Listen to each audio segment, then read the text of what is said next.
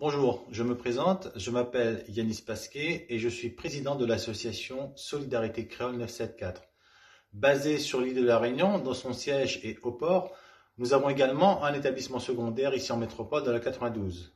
Alors, toute jeune association, nous comptons malheureusement pour cette année qu'une vingtaine d'adhérents. Bien sûr, la crise est passée par là et cette année 2021 nous donnera la possibilité de faire évoluer nos, nos adhésions. Alors, les objectifs de Solidarité Créole 974 sont auprès des personnes, des compatriotes réunionnais sans abri, que ce soit à La Réunion ou en métropole. Nous évoluons aussi auprès des femmes et enfants victimes de violences intrafamiliales.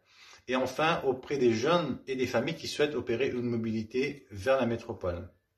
Alors, le but premier de Solidarité Créole 974, c'est d'évoluer sur le réseau social Facebook afin de créer une grande solidarité à travers laquelle, eh bien, toutes les personnes, que ce soit les personnes les plus démunies ou les familles dans de grandes difficultés ou les personnes sans abri, puissent être repérées, accompagnées et suivies.